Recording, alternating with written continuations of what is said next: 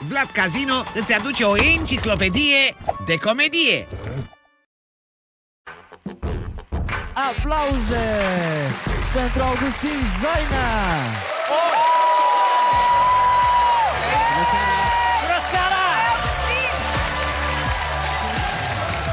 Bună seara!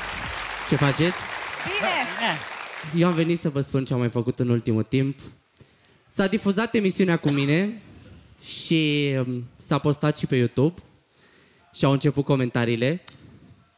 Și nu știu dacă știți, dar comentariile de pe YouTube sunt un fel de cult, gen Bivolaru, toată lumea are păreri și lasă niște propoziții fără semne de punctuație și toată lumea are păreri. Și o să vă spun câteva dintre comentariile pe care oamenii mi le-au lăsat uh, la videoclipul cu mine. Și un domn a spus, un domn pe nume Ionel, pentru că nu știu dacă știți, dar numele e și predestinat în viață, nu poți să fii savant când te cheamă Ionel. Mi-a spus, a venit toți gay la stand-up Relovution. Că a venit toți gay, a venit. Nu știm unde era ei, dar ei a venit. Probabil era la manicură sau ceva și au venit aici. Problema era că ei a venit la stand-up Relovution și nu știu pentru voi, dar mie Relovution îmi sună ceva, șampon. Relovution, pentru fire despicate. Doamna Cecilia, o doamnă foarte drăguță, mi-a spus că Antena 1 a făcut pact cu diavolul și cu masonii ca să promoveze homosexualitatea la TV. Antena 1. Bă, cum s-a prins ea. Aceeași Antena 1 care difuzează acces direct a făcut pact cu diavolul ca să difuzeze homosexualitate. Un alt domn, pe nume Cristi, foarte drăguț, mi-a spus, dacă mergem cu ăștia la război, murim primii. Eu aș vrea să vă întreb când ați văzut voi în ultimii 15 ani un bărbat pregătit să plece la război. Pentru că eu cred că domnul Cristi face parte din aceeași categorie de oameni care atunci când a pornit războiul în Ucraina s-a dus să-și facă pașaport să plece din țară. Pentru că în capul lor face sens că dacă Putin dă cu bombă nucleară, apuci să pleci undeva. Nu mai apuci, tu doar apuci să te duci. Nu se mai întâmplă nimic. Iar un alt domn mi-a spus, băi, știi ce cred eu? Eu cred că tu poți să fii cu femei, dar nu vrei. Și am stat așa și m-am gândit, bă, dar eu ce-am? De ce n-aș putea? Și în capul meu s-a deschis un sertăraș cu multe dosare cu șină și a ieșit un băiat de acolo care mi-a făcut un PowerPoint și mi-a spus, bă, asta se poate întâmpla. Și mă gândesc că trebuie să ajung în punctul în care la un moment dat trebuie să fac sex cu femeia aia și se va dezbrăca și eu aș fi ceva pe genul, pune ceva pe tine că e duminică, e sărbătoare, azi nu spălăm, n-are rost să facem alte lucruri. și în încheiere vreau să vă spun că am ieșit la date, pentru că vă spuneam dățile trecute că am fost părăsit. Și am ieșit la date și nu o să mai fac asta, pentru că am, am cunoscut un tip pe Tinder și am ieșit cu tipul ăsta afară și am vorbit și am stat și am povestit și vorbeam despre relațiile noastre eșuate. Și poveștile noastre au început să semene foarte tare și în timp ce stăteam pe bancă, am realizat că noi am stat în același timp cu același băiat, eu doi ani, el șase luni. Și după această informație, am stat pe bancă vreo 10 minute și n-am știut ce să fac. Și eram pe genul, hai să ne... Mulțumesc.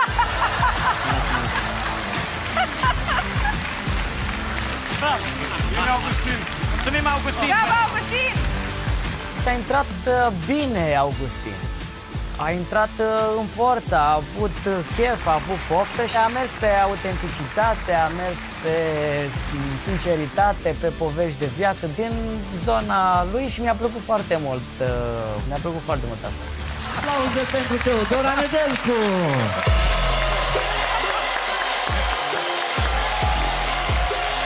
Hello, Morticia! Bună seara! Bună seara! Ce faceți? Bine. Vreau să înțeleg puțin sufletul. Uh, vreau să vă, spun, uh, să vă spun o chestie. Eu am avut două mari traume în viața asta. Uh, una am avut-o uh, la naștere.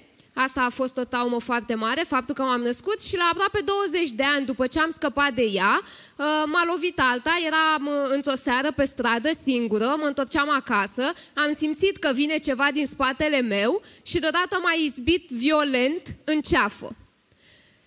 Era gândul că doar banii aduc fericirea.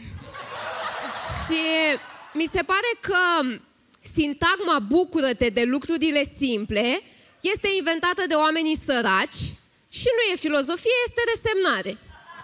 Efectiv, de-a lungul timpului, sărăcia te învață să te bucuri de ce ți oferă gratuit natura. Dacă nici anul ăsta nu ai bani să pleci nicăieri în concediu, privește cerul.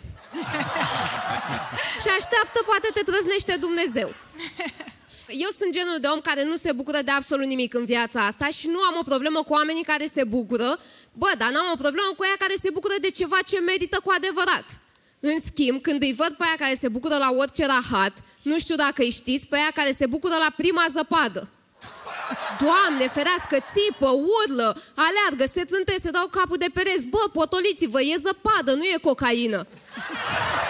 Pun mâna pe telefon, îi sună și pe alții să-i anunțe. Postează primii pe Facebook ca să știe și ea care nu au geamuri. și mă gândesc, bă, dar n-ați obosit? S-ar vă bucurați în fiecare an, ca nici și anul trecut și acum doi ani și o să tot ningă. De unde dracu adunați atâta bucurie și de la un an la altul parcă e mai explozivă? Mi se pare incredibil pentru că am impresia că uh, crește bucuria cu cât le scade salariul. Și mă gândeam la ei, Doamne, păi dacă tu faci în halul ăsta la o mocirlă, la mizeria aia, la mătreața din barba Domnului, Bă, ți-ai imaginat că dacă tu te-ai duce să vezi aurora boreală, ai crăpa? Efectiv, n-ai cum să duci aia. Slavă cerului că nu-ți permiți un, sej- un sejur în Norvegia când e aurora, că uite ce necas să aduce bucuria. Mi se pare incredibil și uh, sunt familii cu copii pe care îi întreb și ați fost undeva în concediu anul ăsta? Oh, dar nu ne trebuie. Nu, dar noi aici de pe balconul nostru vedem cele mai frumoase curcubee. Păi și nu le vedeți cam gri așa? Că nici eu nu știu, dar cred că de pe o insulă din Grecia se văd mai colorate. Nu, dar nu ne trebuie. Noi nu, nici nu ne facem planuri pentru august, că trebuie neapărat să fim acasă, să vedem spectacolul stelelor căzătoare. Nu mă nebuni, că dacă nu erai tu acasă, stelele alea nici nu mai cădeau. Și asta ce bucurie îți mai aduce, mă rog? Doar că vezi că în universul ăsta mai cad și alte chestii în afară de planurile tale? Și după ăștia vin preferații mei, boemii. Hai să privim un apus unic. Cum mă unic? Dă-l dracu, că a fost același seară și alaltă seară și în fiecare seară. Nu, e unic. Uite, doar privește cum se întrezărește roșul tangerin al soarelui cu albastru ciel al norilor. Bă, lasă aerele de Van Gogh că nu e cazul. Dacă îl vedeai de pe un iac din Caraibe, da, puteam să înțeleg că e ceva unic. Dar așa, din garsoniera ta de pe balcon din drumul taberei, ce vezi așa unic? De unde de-abia zărești printre rufele puse la uscat. Asta ți-aduce ție bucurie? Că vezi roșul tangerin prin găurile de la șosete? Eu sunt un om realist. Pentru mine apusul este semn unic că s-a terminat o zi de și că urmează alta. Și mai de și tot oamenii ăștia sunt uh, ăia care vin la mine cu argumentul că trebuie să ne bucurăm de ele, că sunt fenomene extraordinare. Că fenomenul extraordinar a fost și COVID-ul. Și încălzirea globală. Și tornadele tot mai dese din țara noastră. Bă, de ele, de ce nu vă bucurați? Când trăznește, de ce nu ieși afară să zburzi? Eventual pe lângă vreun copac. Trăznetul ce are? Pute, e negru. Și da, poate vă întrebați, băi, dar ce are fata asta de vede absolut totul în mizerie și... Păi dar ăsta e primul sentiment cu care m-am întâlnit eu când m-am născut, că la 5 minute după ce m-am născut eu, mama se uita cu atâta scârbă la mine, încât i-a zis și doctorul, ce doamnă, sperați să fie băiat, nu? Și ea s-a uitat la doctor și a zis, sincer, speram să fie o... și cu asta vă mulțumesc, eu am fost o